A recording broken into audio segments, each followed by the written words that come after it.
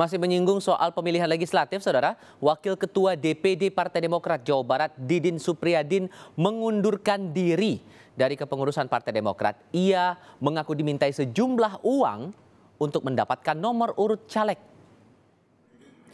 Didin mengaku dimintai uang 500 juta rupiah oleh sekretaris dan bendahara DPD Partai Demokrat Jawa Barat. Alasannya untuk mendapat nomor urut 1 di Dapil 15 Jawa Barat dalam pemilu legislatif 2024. Uang tersebut kata Didin untuk membayar saksi. Sementara bakal caleg belum didaftarkan ke KPU sebagai daftar caleg sementara atau DCS.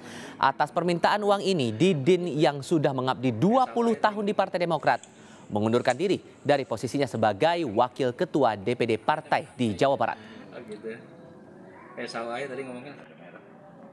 belum menjadi DCS tiba-tiba ada kontribusi yang diminta untuk saksi. Ya sebesar itu gitu ya.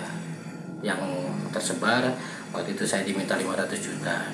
Padahal sebelumnya saya sudah menyanggupi ketika fit and proper test eh, sumbangannya 100 juta nah kita pikirkan yang namanya saksi itu kan baru akan digunakan itu nanti di 14 Februari 2024 pada saat hari H pemilihan.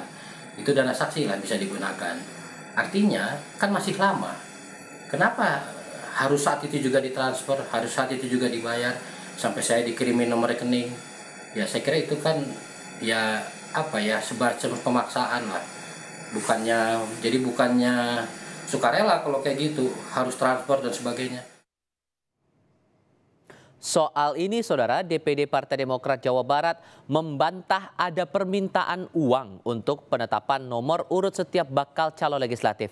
Kepala Badan Komunikasi Strategis Daerah Partai Demokrat Jawa Barat, Muhammad Hailuki, menyebut setiap bakal caleg sebelumnya telah menandatangani surat kesiapan untuk menerima keputusan soal nomor urut.